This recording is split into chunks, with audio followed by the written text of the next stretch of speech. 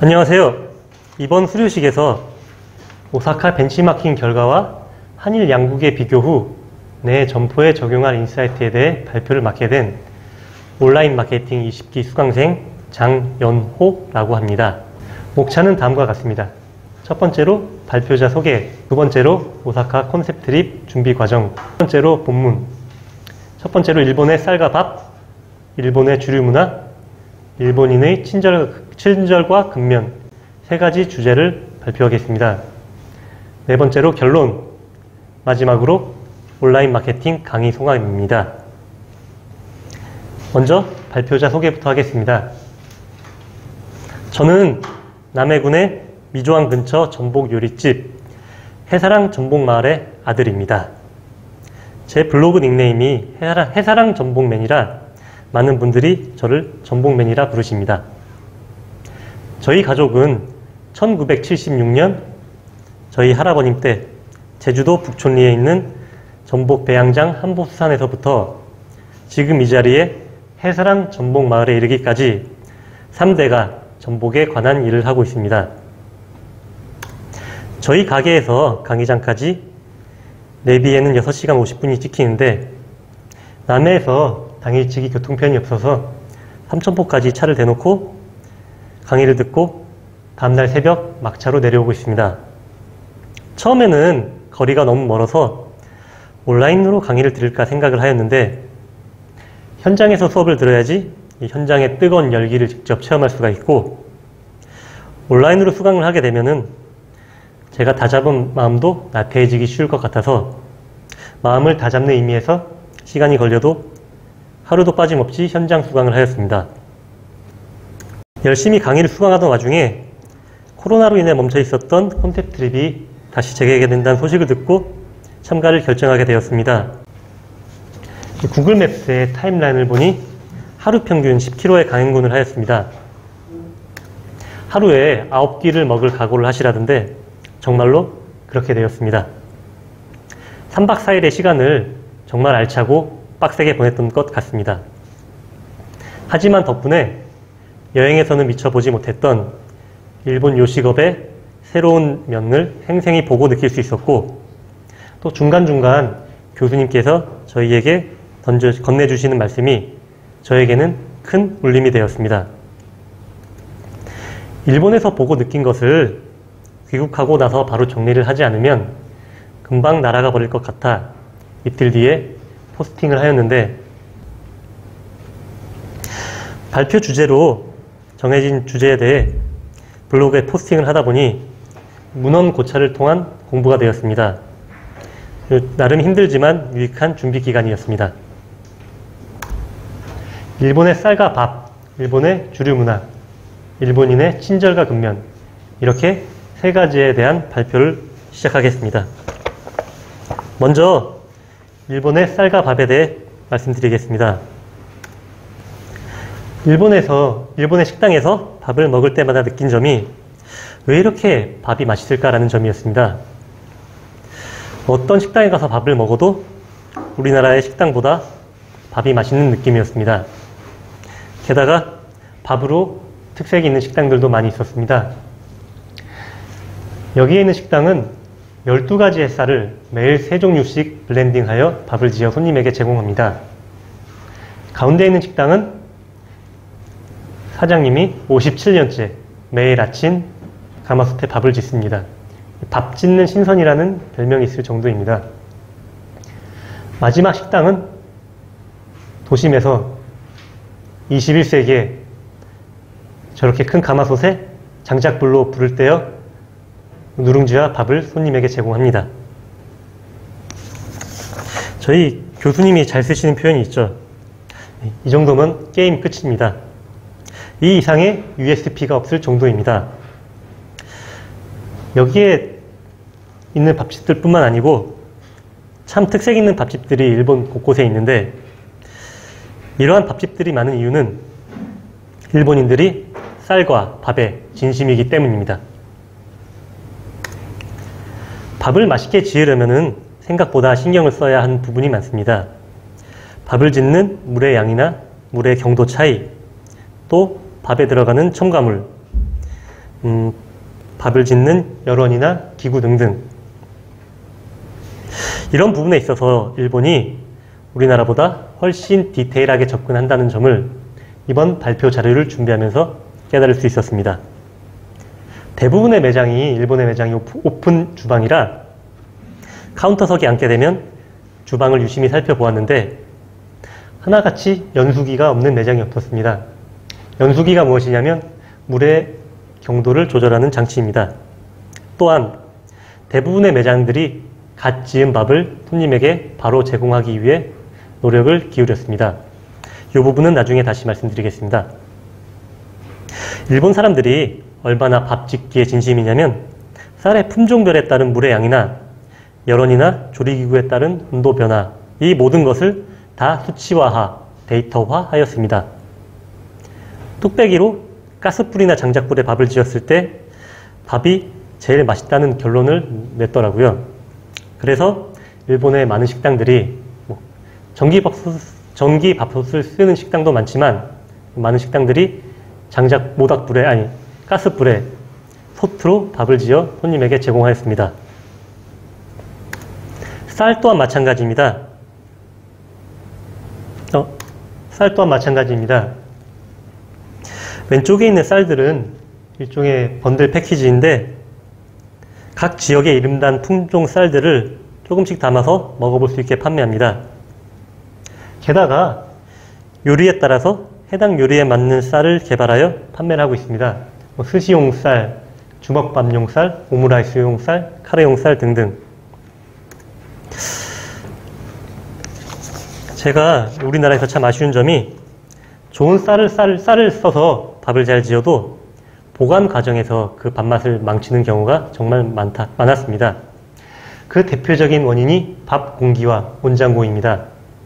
이 밥 공기라는 게 1970년대 밥사발의 규격을 단위로하고 쌀 소비량 감소를 위해 나왔는데 이 공기가 뚜껑이 갓 지은 밥의 열 배출을 막고 수분을 가두어 놓아 시간이 지날수록 밥의 맛이 떨어지고 거기에 더해 하루 종일 온장고에 넣어 놓게 되니 아침에 지은 밥을 하루 종일 냅두게 돼서 더 밥맛이 떨어진 결과를 낳게 되었습니다. 제가 밥을 먹은 일본의 식당 중에서 밥 공기와 아, 밥을 미리 퍼놓았다가 제공하는 식당이 없었습니다. 그렇게 효율성을 중시하는 일본인들이 밥 공기와 온장고를 쓰지 않는 이유가 있지 않을까요? 생각해보면 백반집이나 국반집이나 국밥집이나 뭐 설렁탕집 뭐 하다못해 돈가스집, 카레집 모두 다 밥을 소비하는 집들인데 대부분의 사람들이 메인 메뉴에만 신경을 쓰지 같이 나오는 밥에 대해서 너무나 무신경한 것 같습니다. 사실 이러한 결과에는 밥과 쌀에 대한 우리의 인식이나 쌀의 유통구조에 대한 문제점 또한 있습니다. 저희가 마트에 가서 쌀을 볼 때 대부분 양이나 가격을 보지 이 쌀이 어떤 품종, 호남미인지 단일미인지 어, 도정은 어디서 했는지 생산 연도는 언제인지 이런 부분까지 따지진 않습니다. 일본 같은 경우는 각 지역, 각 품종에 따른 쌀 분류가 정말 체계적으로 되어 있었고요. 우리나라는 아무리 맛있는 쌀을 재배하여도 각 지방에 있는 종합 미곡 처리장에서 쌀의 재배 지역이나 품종을 고려하지 않고 각 농가의 쌀을 다 섞어버리니 전체적인 맛이 하향 평준화 되어 버립니다. 또한 일본은 쌀 품종 개량이 밥맛 위주로 지속적으로 이루어진 데 반해 우리나라의 쌀 품종 개량은 생산성과 유통 편의성 위주로 이루어진 부분도 있습니다. 양국의 쌀 소비량은 매년 줄어드는데 농가 생산량은 그대로, 그대로인 이 시기에 쌀의 브랜드와 고급화는 필연적인 과정 같습니다. 최근 들어 우리나라의 소비자들도 무조건 양이 많고 싼 쌀이 아닌 비싸도 맛있는 쌀을 찾기 시작하는데 저희 요식업자들도 쌀과 밥에 대한 인식을 바꿔야 할 때라고 생각합니다. 두 번째로 말씀드릴 것은 일본의 주류 문화입니다. 일본에 가니 편의점이나 마트에서 정말 다양한 주류를 판매하고 있었습니다. 근데 막상 식당에 가보면 생각보다 판매하는 주류의 범위가 넓지는 않았습니다. 대부분의 술이 저도수에 청량감 있는 술이고 잔으로 판매를 하고 있었습니다. 왜 그럴까 하고 찾아보니 나름의 이유가 있었습니다. 일단 술을 병으로 팔게 되면 술병을 보관해야 될 공간, 진열해야 될 공간이 필요합니다. 게다가 술잔을 술잔뿐 아니라 병도 갖다 줘야 되고 치워야 하고 그만큼 공간과 인력의 낭비가 발생합니다. 무엇보다 술을 병으로 팔게 되면 한 병의 술로 몇 명의 손님이 마실지 가늠이 되지 않습니다. 술을 잔으로 파는 것이 매장의 공간 효율과 직원의 업무 효율을 늘리게 되고 자연스럽게 일일 일잔을 권장하게 됩니다. 또한 저 도수에 청량감이 있는 구성이라 여러 잔 마시기에도 좋은 구성입니다. 한마디로 부가가치가 창출하기 좋다는 말입니다. 그러다 보니 일본의 식당에서는 이런 하이볼 머신이나 생맥주 기계가 없는 식당이 없었습니다. 최근에 우리나라에서도 하이볼이 급속도로 유행하고 있는데 일본의 일본에서 벤치마킹한 부분이 클 겁니다. 그렇다고 일본에서 병수를 판매하지 않는 것은 아닙니다. 대부분의 병술 판매는 니온슈나 소추 같은 일본 술이었습니다. 물론 잔술로도 팔지만 이 병이나 잔의 가격이 상당히 비쌌습니다. 저희가 일본에서 먹었던 소주도 병당 5천 원이 넘, 5천 엔이 넘는 기억이 납니다. 가만히 보니 와인하고 비슷한 부분이 많더라고요. 식당에서 판매하는 병 와인은 비싼데 하우스 와인이나 하우스 와인으로 싸게 마실 수 있고 보편적으로 와인은 식당에서 마실 수 있는 고급 주류다라는 인식이 우리나라에 있는데 일본의 식당에서 일본주가 그러한 인식을 가지고 있는 부분이 참으로 부러웠습니다. 사실 우리나라의 술 문화에는 희석식 소주가 끼친 영향이 매우 큽니다. 맛을 즐기기 위한 술이 아닌 취하기 위한 맛인 술이 되다 보니 포금 위주의 음주 문화가 만연하게 되었고 주정을 넣어 술을 만들다 보니 그 맛이 역해져서 그 맛, 역한 맛을 씻어내기 위한 껄쩍지근하거나 기름지고 매운 음식이나 안주가 발달하게 되었습니다. 우리나라도 원래는 중류식 술이나 많은 전통주들이 있었는데 일제시대를 겪으면서 많은 부분이 소실되었고 이때 일본에서 개발되어 들어온 희석, 식 소주가 한국 주류 문화의 대세가 된 것을 안타깝게 생각합니다. 그래도 최근에 들어서 우리나라도 전통주나 특색 있는 지역 술들을 개발하기 위해 꾸준한 노력이 계속되고 있고요. 수제 맥주 또한 전국 각지에서 양조장, 소규모 양조장들이 활발하게 개발되고 있습니다. 또한 폭음 위주의 음주 문화에서 탈피하여 젊은 세대를 중심으로 술의 맛과 장소의 분위기를 즐기는 건전한 음주 문화로 점차 바뀌어 나가고 있습니다. 저희 요식업자들도 단순히 주류를 제공하는 것보다는 건전한 음주 문화를 음주 문화에 기여하는 주류를 제공하면서 주류에서 지금보다 더욱 높은 부가가치를 창출해야 한다고 생각합니다. 물론 우리나라와 일본의 음주 문화가 다르니 당장에 가능한 부분은 아니지만 일본의 주류 문화를 꾸준히 벤치마킹하다 보면 좋은 결과가 있을 것 같습니다. 마지막으로 알아볼 것은 일본인의 친절과 근면입니다. 콘셉트 트립 기간 중에 카페에서 잠시 휴식을 하는데 교수님께서 갑자기 저희에게 이런 말씀을 하셨습니다. 교수님 제자 중에 한 분이 일본에서 식당을 하는데 어느 날 교수님께 이런 말씀을 하시더랍니다. 교수님, 일본 사람들은 왜 이렇게 일을 열심히 할까요? 제가 한 날 CCTV를 보았는데 손님이 하나도 없는 시간이라서 놀고 있을 줄 알았는데 다들 알아서 일을 열심히 찾아서 하더라고요. 그렇다고 제가 돈을 다른 집보다 많이 주는 것도 아닌데 왜 이렇게 일본 사람들 일은 열심히 할까요? 라고 교수님께 물어보더랍니다. 교수님께서 저희에게 왜 일본인들은 이렇게 일을 열심히 할까? 너희들 알고 있니? 라고 질문을 하셨는데 아무도 대답을 하지 못했었습니다. 교수님께서는 이러한 부분이 오랜 학습의 결과라는 말씀을 하셨는데요. 음, 제가 발표를 준비하면서 찾아보니 일본의 사회문화적 요인에서 기인하는 부분이 많았습니다. 흔히 외국인들이 일본인 보고 근면과 성실, 친절한, 친절의 민족이다라는 말을 많이 하는데 일본인이 보편적으로 이러한 인식을 가지게 된 것은 요 메이와쿠라는 단어의 기인, 문화에 기인합니다. 메이와쿠 카케루나 남에게 폐를 끼치면 안 된다는 일본 문화입니다. 일본인들의 기저에 깔려 있는 문화 양식이자 사회윤리 교육의 핵심입니다.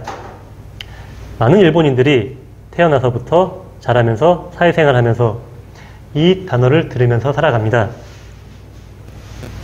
간단히 예를 들어보겠습니다. 손님, 직원, 사장이 있는데 이 모두가 남에게 폐를 끼치지 말아야 한다는 생각을 가지고 살아갑니다. 내가 손님이라면 이 가게의 직원과 사장에게 폐를 끼치는 행동을 하지 말아야지.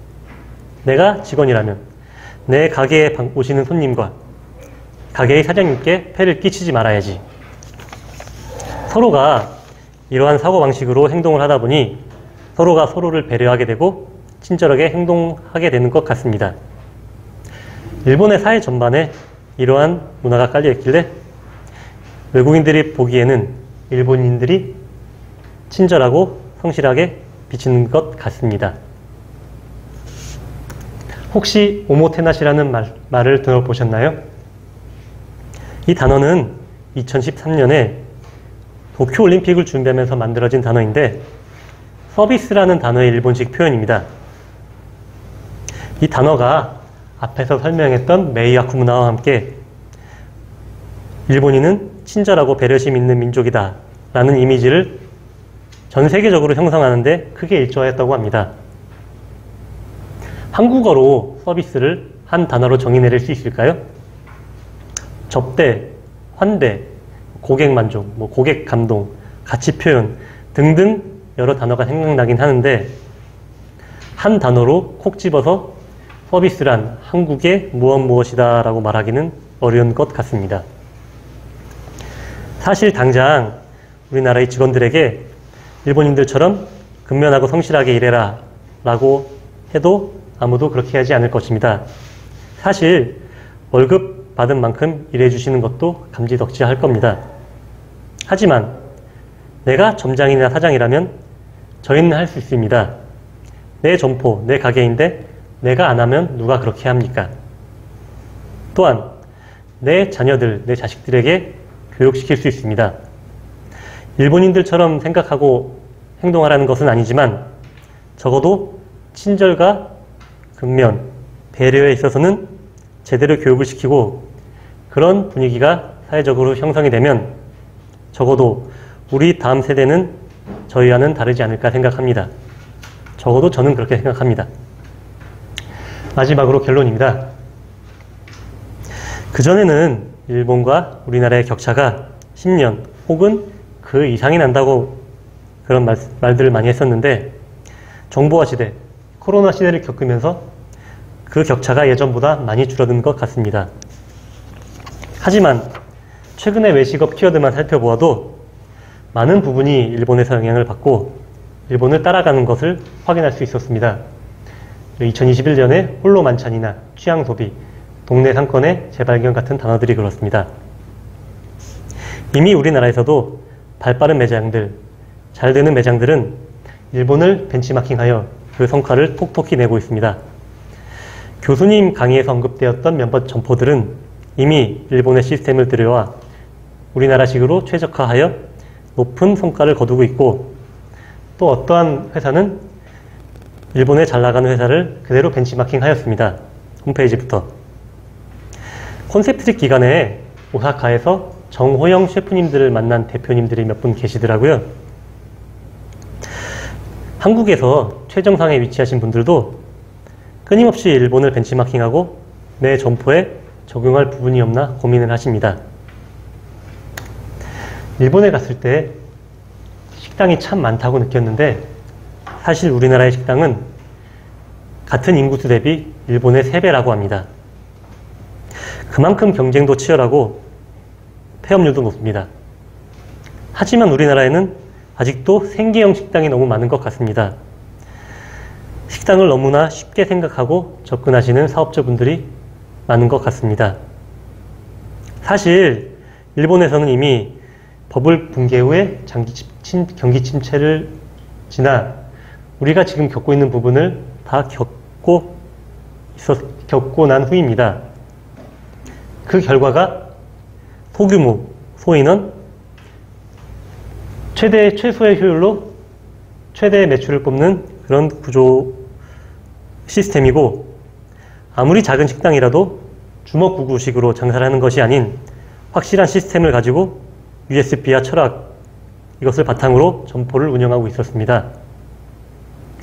우리나라의 요식업자들도 이제는 주먹구구식 운영, 생계형 식당에서 탈피하여 확실한 철학과 신념, 자부심을 가지고 점포를 운영해야 한다고 생각합니다. 저는 이번 기수 온라인 마케팅 강의를 들으면서 딱 두 가지만이라도 확실히 건져가자는 생각을 하였습니다. 바로 꾸준한 기록의 습관화와 꾸준한 소통과 댓글입니다. 강의 수강 시작 다음날부터 매일 블로그를 쓰고 내 점포의 데이터를 기록하는 습관을 들이고 있고 제 매장에 방문하신 손님분, 그 손님분들뿐 아니라 블로그 이웃이나 다른 매장의 대표님들 또한 내 점포를 인터넷에 포스팅해 주신 손님분들께 열과 성의를 다하여 댓글을 달고 소통하려 노력하고 있습니다. 12주라는 길면 길고 짧으면 짧은 시간이 순식간에 지나갔습니다. 첫 술에 배부를 수 없다는 말이 있듯이 한 번의 강의로는 저희 부족함을 다 채울 수 없다는 결론을 냈고 일찌감치 재수강을 계획하였습니다. 다음 기수 수강의 목표는 내 점포의 가치를 높이는 것입니다. 이번 기수 강의를 들으면서 내 매장의 가치를 높일 여러 가지 방법들을 발굴하였지만 실제 적용하지 못한 부분이 대다수였습니다. 이러한 부분을 조금 더 현실성 있게 가다듬어서 내부 고객과의 원만한 합의를 통해 내 점포에 적용하고 그것을 통해 점차적으로 내 점포의 가치를 높여나가는 것을 이번 기수의 목표를 삼고 수업에 임할 생각입니다. 김영갑 교수님 그리고 강사님들과 20기 수강생 대표님들, 재수강 대표님들 모두 12주 동안 수강하시느라 수고하셨고요. 사정상 함께하지 못하는 대표님들도 여기에서 만난 인연이 언젠가는 다시 이어지리라 생각합니다. 21기 때는 더 좋은 모습으로 찾아뵙겠습니다. 감사합니다.